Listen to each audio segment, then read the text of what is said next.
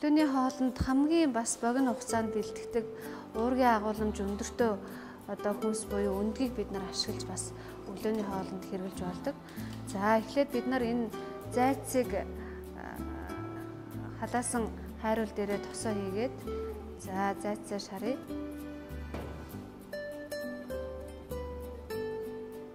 За зайцаа хэлбэр оруулж зүсээд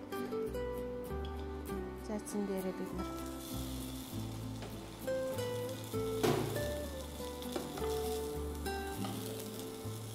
За энэ хоол маань мөн ялгаагүй одоо оюутнуудын маань цаг завыг хэмнэсэн богино хугацаанд одоо болгох ийм онцлогтой хоол байгаа.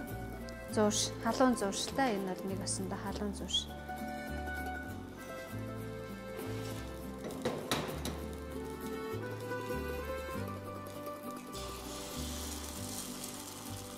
За, үндгийг бид нар хэлбэр оруулж шаарддаг.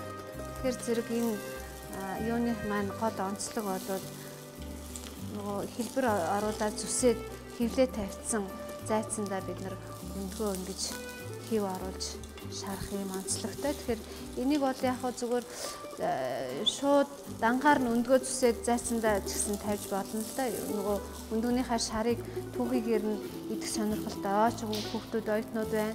За түүхийгээр нь идэхгүй бас нэлээд одоо болгож иддэг хүмүүс ч бас байдаг тийм ээ. Тэгэхээр энийгээ бас шарахтаа нэлээд болгоомжтой шарж болох юм байна. За ялангуяа энэ дээр хайруулын тавыг одоо энэ болгох дулааны боловсруулалтын дээр температурын тааруулах ёстой. За хайруулын тавг маань одоо наалтахгүй юм керамик гадаргуутай байх ёстой. Энийг анхаарч оюутнууд маань өөрсдөө энэ халуун зуршиг бэлэн болгоорой.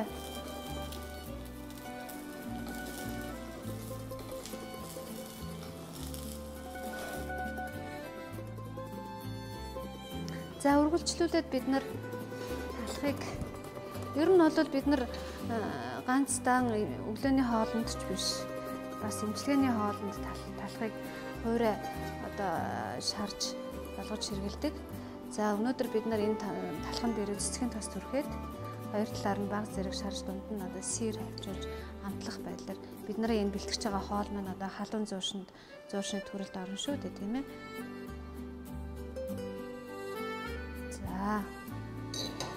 Дандан сэрээ авчуулаад үлдсэн талхан дээрээ гүцээж цэцгийн төсөө төрхөн.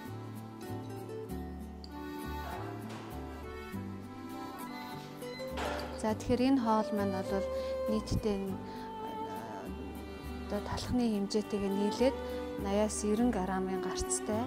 За нэг оюутанд бол өглөөний хоолыг бол хангалттай хэмжээгээр орлох үс өөрөөр хэлбэл энэ 100 энэ шарсан зайц өндөгтөөгөө нийлээд 125-аас 135 грамын гарцтай. За дээрэс нь одоо нэг 180-аас 200 ккал илчлэг агуулж байгаа.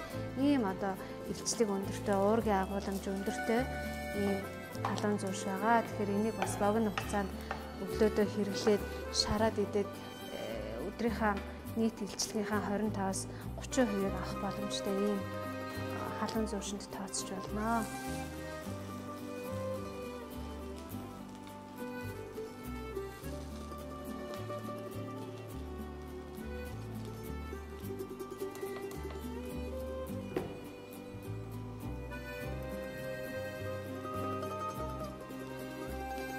За дулааны боловсруулалтанд нөгөө сэр маань хайлж хоёр талхыг хооронд нь нааж хэвээр.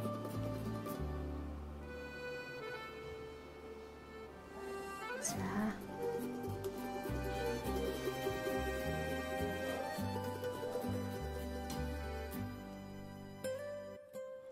За бид нарын халуун талхан зурш маань бэлэн боллоо.